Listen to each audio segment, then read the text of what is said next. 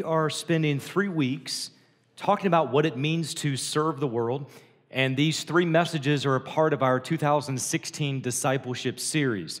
As I said in the, uh, the first part of this uh, series, that we are looking at the idea of service through the lens of gifting. We're answering questions like what are spiritual gifts? How has God gifted me? Um, where is God calling me to serve? And for that matter, how does our spiritual gifting and our place of service fit into our maturity as disciples of Jesus Christ? So, here is the one minute recap of what we covered this last week. If you were not here last week or if you want a more robust understanding, I encourage you go to our website, lifebaptistchurch.com click on the media tab, and the full HD video is there for you. So here is the recap we define spiritual gifts as the special ability given by the Holy Spirit to every believer that is to be used to serve others and build up the body of Christ. There are four primary texts in the New Testament that talk about spiritual gifts. That is 1 Corinthians 12, Romans 12, 1 Peter 4, and Ephesians 4. There's at least three classifications under which spiritual gifts fall. There are sign, speaking, and serving gifts. There are also manifestation, motivational, and ministry gifts. I gave six fundamental truths about spiritual gifts in general. They are number one, every believer has been gifted for ministry. Number two, the Holy Spirit decides the gifts you receive. Number three, every believer is not gifted in the same way. Number four, no believer receives every gift. Number five, spiritual gifts are for the benefit of others. And number six, spiritual gifts are different than natural talent. We also had the one big idea, and that is use the gifts God gave you in the place God called you for the benefit of those around you. That's all of last week in a nutshell. Now, that being said, I encourage you, go with me again today. Romans chapter 12, we'll be in verses 6 through 8. Romans 12, 6 through 8. And today we are personalizing this idea of spiritual gifts. We talked about in a general sense. Now I want us to personalize it, and we're answering the question how has God gifted me? I want you to think about that from your perspective. How has God gifted you? Now, as we go through, there's going to be a lot of information, a lot of information. Now, that being said, I want you to know that the definitions, how I'm discussing these ideas of spiritual gifts, comes off of the actual words that are mentioned in the text, as well as individuals within the New Testament and one in the Old Testament who actually demonstrated that they have these particular gifts. So we're looking at their lives as well. Lots to cover. Romans chapter 12, verses 6 through 8. Since we have gifts that differ according to the grace that is given to us, each of us is to exercise them accordingly. If prophecy, according to the proportion of his faith. If service in his serving, or he who teaches in his teaching, or he who exhorts in his exhortation. He who gives with liberality, he who leads with diligence, he who shows mercy with cheerfulness. Let's pray. Heavenly Father, we ask that your Spirit open our eyes, that you would allow us to be able to discern how you have gifted us and God, you would create this desire within each of us to utilize that gift for your glory. In Jesus' name, amen. Romans 12 contains what's referred to as the motivational gifts. And we described this group of gifts this last week by saying they are the gifts that motivate how we think, how we act, how we respond to the world that's around us. In fact, they are the lenses by which you see the world. Now, as an example, let's say seven people saw a car accident take place. All seven would probably have similarities in their stories, but there's going to be just a little bit of differences based upon their vantage point and based upon their perspective. One person might come out and describe when it happened. Somebody else might describe how it happened. Another person may describe the circumstances under which it happened. Somebody else might say it was a blue car that ran into a yellow car. But if you were to take all of those pieces together, the cumulative information, it should give a better understanding of the event that actually took place. The same is true of spiritual gifts. These are seven strategically positioned viewpoints within the body of Christ that help us understand the world around us as well as how we are to respond based on the leading of God. These gifts do not compete against each other, they complement each other. So here are the gifts again prophecy, service, teaching, exhortation, giving, leading or administration, and the gift of mercy. Now, this morning, I want us to walk through each of these seven gifts, and I want to explain the gift. I also want to take just a few moments for us to explain how this gift is misunderstood, how it's abused, and where it fits within the body of Christ itself. So we begin with the first, and that is the gift of prophecy. If you're looking for a biblical character to study this gift, look no further than Peter. Peter's a great example. Those with the gift of prophecy are the eyes of the body. The prophet sees the world through the lens of truth. Listen to how, how much truth is important to this person. They perceive truth, proclaim truth, promote truth, and practice truth.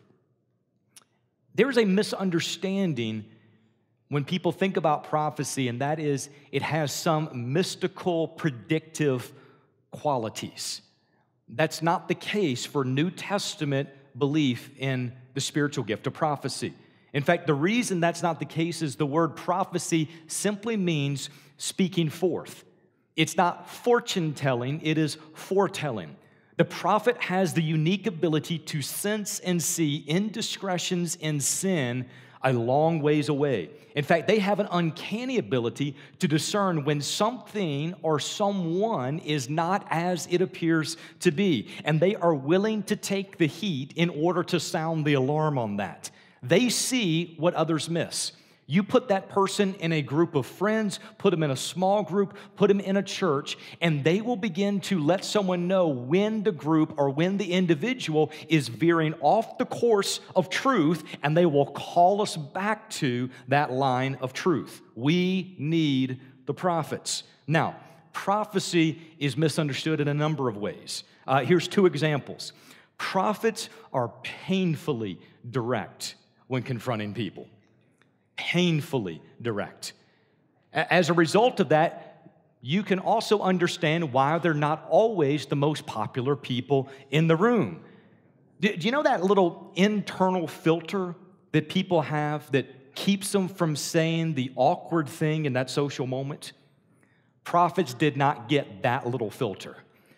In fact, they say what no one else is willing to say. They say what others are missing. They say what needs to be said. But as you might imagine, their directness can have them being perceived as unloving and divisive and even prideful. Prophets are also unwavering in their commitment to truth. Do, you know how people say that every good relationship requires compromise? They would say that's stupid. Compromise is anathema to the prophet. Compromise is you just surrendered ground. Compromise is you succumbed to truth. So for this person, they're unwilling to relent if they believe that they are standing in truth, and as a result, people will think they are bullheaded. Don't point, don't point. All right. Now, there are two spiritual gifts that collide constantly with the prophet. The first is the gift of mercy, the second is the gift of exhortation. People with mercy are so sensitive to the feelings of others that they are appalled by the directness of the prophet. Those who have the gift of exhortation, they want to encourage and uplift everyone so they feel as if what that person's saying is counterproductive to what they're trying to achieve. Now, while the gift of prophecy is a blessing, and by the way, it might not sound like it all the time, it is a blessing in the church. We need people who will say, This is truth, and we need to stay in it. We need people to call us back when we're steering off into sin. We need that in the body. But here's the thing if it's not yielded to the Holy Spirit, the prophet can cause more harm than good. If they're not yielded to the Spirit, they have a tendency to correct people who are not their responsibility. They will get into battles in which they have no business being in that battle. They will jump to conclusions without having all the facts in place. And finally, if they're not controlled by the Spirit, they will reinforce a condemning spirit. Prophecy, it's a spiritual gift. It's necessary, it's important, but it needs to be yielded to the leadership of the Holy Spirit. That takes us to our next one. It's the spiritual gift of serving. If you're looking for an example, Timothy would be a great example of this. Those with the gift of service are the hands of the body. The server sees the world through the lens of need. Uh, someone with the gift of service has the ability to assess a situation quickly and they see issues before others detect there's even a problem. The person with the gift of service, they are not content to just know there's a problem. They feel compelled to solve that problem. They feel compelled to do something about it. So they're always stepping in, wanting to fix problems, meet needs, and make people feel comfortable. You'll often notice a person with the gift of service is somehow connected with leading social events. Now, here's a crazy thing about the person with the gift of service they can remember likes and dislikes like no one else. If they ask you if how you like your coffee and you say I like it with one cream and two sugars, 3 years down the road they will hand you another cup of coffee, one cream and two sugars. They remember details. They remember that because for them, it's a part of making people feel welcomed and cared for and loved and served. So they remember what everybody else forgets. Now, just for kicks, I want you to see how different the prophets and the person who's a servant are from each other. Prophets tend to avoid excessive contact with people. Here's why pointing out sin and calling people back from disastrous decisions rarely makes the prophet a popular person. They avoid crowds because they see people as problems waiting to happen, and they get tired of being the voice of reason in a room of dysfunction. They will walk away from the crowds. On the other side, the person who is a servant loves the crowds. You know why? Because they are loved on by people. When someone knows your likes and dislikes and they want to care for you, they get that affection and that affirmation. They enjoy being with people. And here's the other thing people bring messes, and messes reveal need. Therefore, for the servant, it's like moths to a flame. The moment they found a crowd, they want to join in because it's a chance to serve people. Now, you would think that serving others doesn't come with a lot of pitfalls. That's not the case. If servants are not being led of the Spirit, they will sacrifice their own health in order to meet the needs of others. If they're not being led of the Spirit, they will overextend themselves because of their unwillingness to say no to needs. If the servant is not being controlled by the Spirit, they have a disregard for proper channels for the person who's a servant, they consider red tape to be like nails on a chalkboard because red tape just interferes with them serving and meeting the needs that they want to get to anyway. In fact, they probably invented the phrase it's better to ask forgiveness than ask permission. Finally, the servant who is not being controlled by the Spirit will interfere with God's discipline by offering premature help. Now, this one takes just a moment to explain, but it is incredibly important.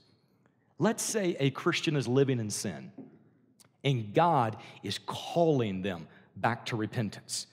And in order to break that prideful spirit, in order to cause them to recognize they can't do it by themselves, God allows a number of difficult circumstances to enter that person's life sickness, job loss, items breaking.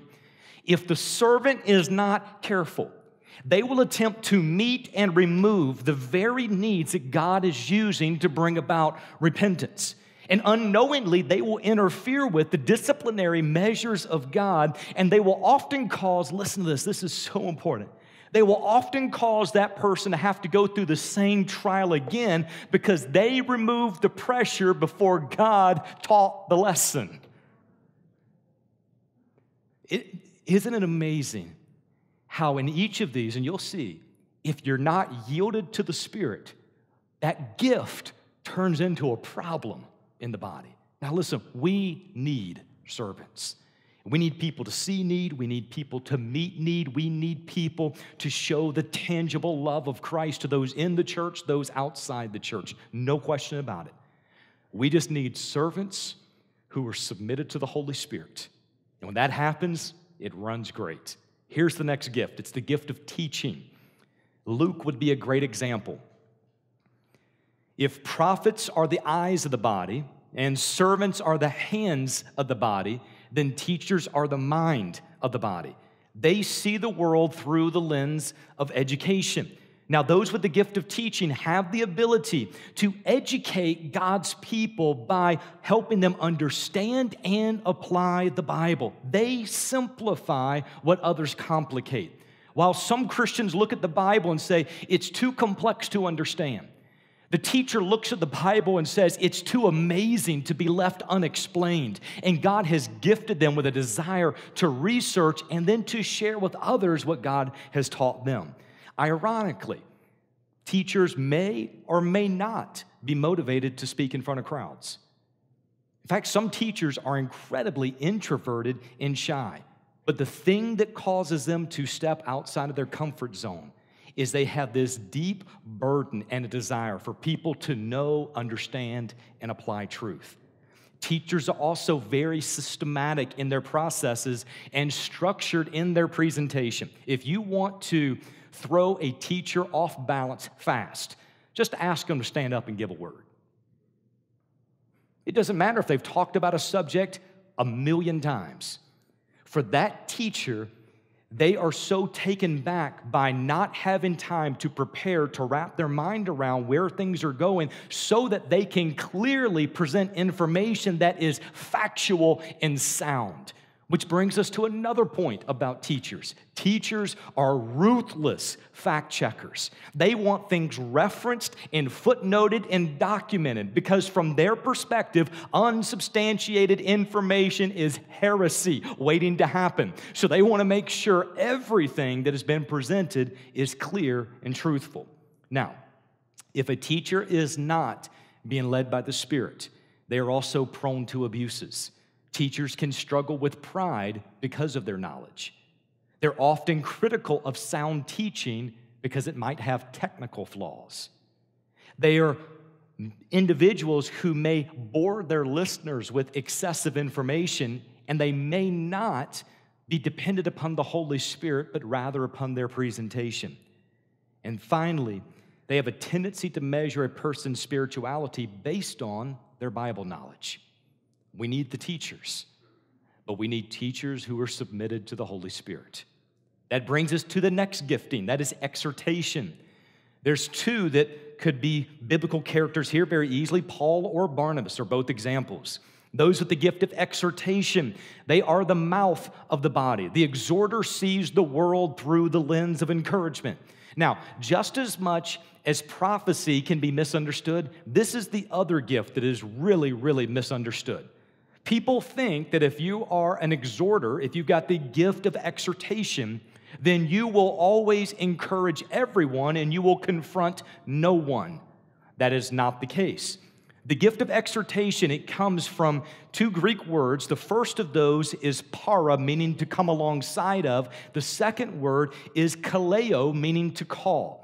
It's the idea of calling someone alongside yourself so that you can teach, instruct, comfort, guide, rebuke if necessary. In fact, it's that same root word that Jesus used of the Holy Spirit when he said, I will send another helper, I will send another comforter. The Greek word is parakletos. It's that same exact word. So, for the exhorter, they have the ability to advise, encourage, warn, and strengthen and comfort other people. The person with the gift of exhortation is all about relationships. They would rather have a face to face conversation than any other means or medium of communication. The individual who has this gift is able to discern where a person is in their walk with God, communicate with them at that level, and then help motivate them to take further strides with God. As with the other gifts, this one also can be abused. If the exhorter is not being led by the Spirit, they will initiate steps of recovery without acquiring the details of the problem. Their desire to see people mature means they will often offer help where no one's asking for their help. They will treat family members like projects to fix instead of people to love. They question deep doctrinal studies because they don't see its immediate application. And here's the last one. This one cracked me up, and here's why. My wife scores so high on exhortation until it's pitiful. So here's the statement, and I'll explain why it's funny to me. They tend to interrupt people because they think they know where the person is going and they're just excited to share what they know. I kid you not. This conversation happens so much in our house. I'm coming home and I'll say, um, Today when I was coming home, she'll say, You stopped off to a store. No, I didn't. You saw someone you didn't? No, I, I didn't. I, I, I can't get anything out because she thinks she knows where I'm going, and she's never right. And that's the funny part about this. I mean, it's 20 years and it's never happened. So, literally, I read this description. I was in my home office. I read the description. I said, Hey, Bria, I found a description of you. Now, she thought it was funny at that time. I don't know if she's gonna think it's funny me sharing it with everybody else, but anyway, so don't do that. That might not help your marriage. However, the point is, any of these gifts when it's not being led of the Spirit, they can jump ahead. They can cause some issues. Now, I want you to notice how these three speaking gifts now fit together. The prophet identifies and proclaims truth. The teacher systematically organizes and explains truth. The exhorter motivates people to obey and follow truth. All three parts are necessary. Isn't it beautiful how God has woven this together within the fabric of the body? Here's the next it's the gift of giving. If you want an example, Matthew would be a great example of this in the Bible. Those with the gift of giving, they are the arms of the body. The gift, the person with the gift of giving, they see the world through the lens of resources.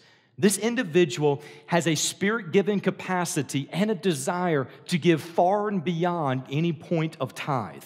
They see the ability to give to others, and God has given them an ability many times to make money and to manage money so that they can give more money to the things that are about the cause of Christ. Now, the usual word that's there for giving is didomai. The word used of this person is meta didomai. That phrase meta, it describes sacrificially giving of oneself. It carries the idea of sincere, heartfelt giving that is untainted by different motives. The person does not give in order to be thanked, they do not give in order to be recognized. They give so that they can meet the needs of people and so that God may be glorified. Now, let me pause here. This is, this is a point, anytime you're talking about spiritual gifts, that a light bulb goes off in some people's minds, and it's the wrong light bulb. Every light bulb's not of God. So here's the light bulb that goes off in some people's minds. They say, I don't like to give anyway. If that's a spiritual gift, that's why I don't like to give. Therefore, I am excused from ever giving again. Thank you, Paul, for clarifying that. That's of the enemy. That's a lie. No. And here's why. Here's why. Every Christian is called to stand and walk in truth. Every Christian is called to learn and know God's word. Every Christian is called to a life of serving others. Every Christian is called to encourage others to maturity in Christ. Every Christian is called to give their resources to help others and glorify God. The nature and distribution of spiritual gifts does not release us from the obedience of serving and helping others. It helps us know why certain people have the burden they do. It helps us understand where certain people fit best within the body of Christ. But we're all called to be those who give. Giving is simply an act of worship, obedience, and faith. So that's for everyone in the body. So I always have to stop there because otherwise people start running down the wrong track and they don't listen to anything else I say after that. So here's the other thing those who are givers, the joy of giving is not for the applause of others, but rather there is a feeling of obedience that comes from using physical resources to meet spiritual needs. They are painfully aware that everything that they have has been entrusted to them by God. And as a result of that, they are painfully aware that He is calling them to be a good steward of it. This person with the gift of giving, they don't ask the question, Should I give? They struggle with the question, Where and how much should I give? Givers also have a strong accountability when it comes to finances. The giver is so conscientious of money that they will often test the faithfulness of others by how wisely they handle their financial resources. You want to tick off a giver? Blow your money and then come and ask them for help. That's the, that's the moment in which the prophet comes out in the giver and they say, No. Okay, don't do that again. Now, let me show you the ways that this gift is also abused. If the giver is not being led by the Spirit, it may cause them to give to big causes and actually look over some family needs. Those who are not being led of the Spirit may inadvertently put pressure on those who have less to give. Those who are not being led by the Spirit, they may fail to discern God's promptings to give, and they may incorrectly judge the motives of those who give differently in different amounts. And finally, they will often attempt to control people through financial gifts or the withholding thereof. We need the givers. We need the people that God has specifically wired to make money, manage money, and give money. But we also need those people to be led by the Spirit of God. Here's the next leader administrator. Nehemiah, that's our only Old Testament person we're bringing in as an example, but he manifests this so well. Nehemiah is a great example. Those with the gift of leadership or administration are the shoulders of the body. The leader administrator sees the world through the lens of order and goals. Now, depending upon the Bible translation you might be using, some of those will say leader, some will say administrator, some will say ruler. It's one and the same word, it's just described in a little bit different way. God has gifted this person with the ability to lead and organize people in ministries so that ministry is performed decently and in order. 1 Corinthians 14 40. The word diligence is connected to this person. Says, those who lead with diligence. That word diligence means haste in work. Here's why that's important. For the leader administrator, idleness and procrastination are the death gargle of an organization. This person has a difficult time resting because they always see something else that needs to be done. They are realist when assessing problems in the present, but they are optimists when it comes to talking about potentials of the future. Those who are leader administrators are extremely focused on goals. Even their goals have goals. They, they think in goals, they dream in goals. There's goals everywhere. And they know that big goals intimidate people, so they are constantly breaking big goals down into manageable steps. Due to their focus on goals as well as their understanding, being realist in the present, they also have their eyes constantly on resources. And God has gifted these people sometimes in the ability to align resources to accomplish goals. Now, the leader administrator knows their effectiveness will be determined by their ability to accomplish that goal. Therefore, and I got to say this about myself because this is one of my gifts, they tend to remove themselves from people and distracting details because it takes their focus off the goal. I've shared with people before when I am with people, I like being with people. When I'm not with people, I will be a fantastic hermit. I can sit and think and process all by myself. You put me in a room by myself for weeks on end, and I'm happy like that. As long as I have food and a place to go to the bathroom, I'm happy there. But here's the issue because of that focus on goals, it often takes you away from the very people that you need to be pouring into to see those things accomplished. Now, the gift can definitely be abused. If the leader administrator is not being led by the Spirit of God, they will use people to accomplish personal ambitions. They will show favoritism to those who they perceive to be more loyal. They will take charge of projects that are not their projects. And they will overlook serious character flaws in order to keep a good worker. Finally, those who are not led of the Spirit will fail to give proper explanation and praise to people along the way. We need the administrator leaders, but we need them to be led by the Spirit. That takes us to our last one. That is those with the gift of mercy. John is a great example in the New Testament of this gift.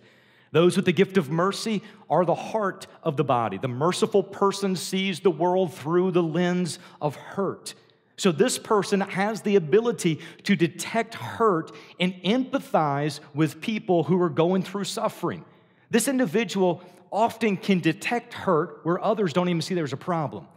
And when they detect hurt, they have this incredible ability to go and meet specific needs. If you've ever been around someone who has a true gift of mercy and you watch them in a hospital, it is incredible to watch them minister to people who are hurting. They can connect with people at a level that others cannot connect with. Now, here's an interesting just tidbit just for you to know. And that is when churches do spiritual gifts test, the average is 30% of people in the church have the gift of mercy. Now, I want you to think about this from a big picture perspective. The church is to be a place where broken and hurting people who have been ravaged by sin can find healing and health in Jesus Christ. It makes sense that he front end loads the church with people with mercy because we need those people to feel what others feel and connect and help that person become what God has created them to be. So the person with the gift of mercy, it goes beyond sympathy that says, I'm sorry. It goes beyond empathy that says, I'm sorry and I hurt for you. This person has mercy, which says, I'm sorry, I hurt with you, and I'm going to be with you every step of the way until you're healed. How is this gift abused? Due to the merciful person's heart, they will often remove the very thing God is using to create dependence. Now, let's pause for just a second. There is incredible value in periods of pain and suffering. Incredible value. Listen to the way James describes it James 1 2 through 4. My brethren, count it all joy when you fall into various trials knowing the testing of your faith produces patience. But let patience have its perfect work so that you may be perfect and complete, lacking nothing. James is saying, be excited when the trials come. Have joy in the trials because those joys are producing a patience. And if you just let patience do its thing, you will end up perfect, lacking in nothing. There's value in those periods of pain and suffering. Another passage would be 1 Peter 5:10. After you have suffered a little while, the God of all grace who called you to his eternal glory in Christ will himself perfect, confirm, strengthen, and establish you. When does that come? After you've suffered a little while.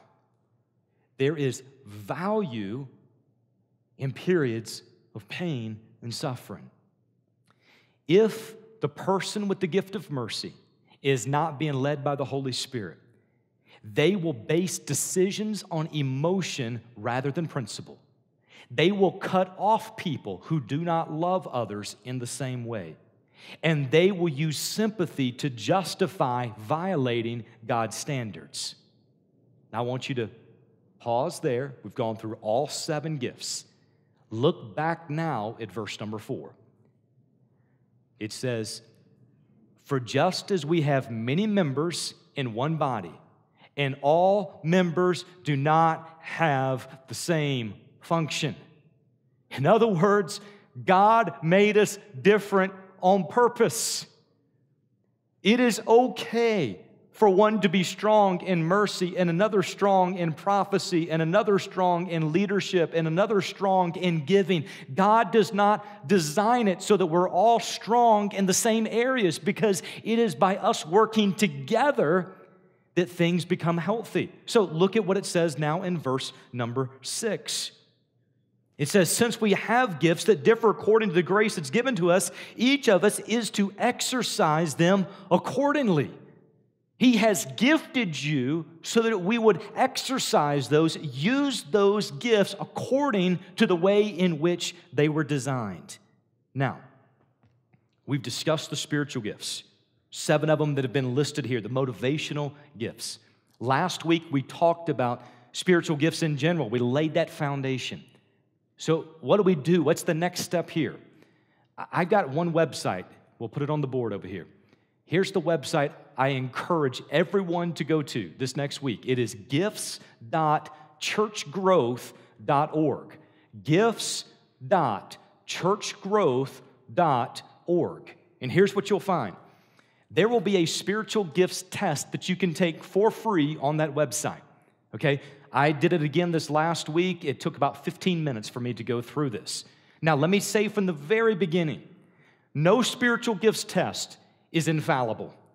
There's none of them out there that are 100%, everything is accurate, but here's what these tests try to do that is, ask the right questions to help someone understand how they are personally gifted. So, whenever you're finished on that, like for me, it took about 15 minutes. After it's over with, it will instantly spit out what your spiritual gifts might be. It gives a description of each of those, as well as where that gift can be utilized within the body itself. So I want to encourage you this next week go through and take the spiritual gifts test. Now, you'll find that there are some gifts that are mentioned on this that were not mentioned here. And we'll talk about some of those again this next week. But the thing I want you to see is God has gifted every single Christian, every single one of us. And He's gifted us in different ways, but those gifts were designed to work together for the health and the vitality of the body. So I encourage you, check out the website, take your spiritual gifts test. If you're all nice and brave, put it out on Facebook, put it on Twitter this next week. It'd be great to see a bunch of these gifts out there. There'll be a lot of people saying, I knew that about them, I knew that about them. Okay, it's fantastic stuff. So, this next week, we're going to take not only those gifts that we've now prefaced and we've taught about, but we're also going to see how our desires, how our abilities, and how our experiences join with these motivational gifts to help us find the right place of service. It's going to be a great time. Let's pray. Heavenly Father, thank you again that you clearly walk us through not only the fact that we have been gifted by you, but God, you have been very, very clear as to what some of these gifts are, and God, where they fit together and how they fit together. So, Lord, I pray today that you would give us the, the courage that's necessary, first to go through and to take the next step, just to even take that simple test, just to find out the basics of this is maybe how we're gifted.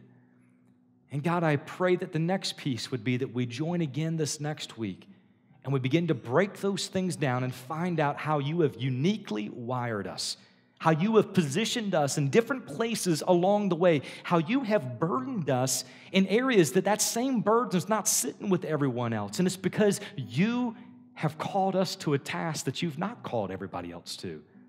God, may we walk in the freedom of knowing that we are stepping out on the path that you laid out for us. In Jesus' name, amen.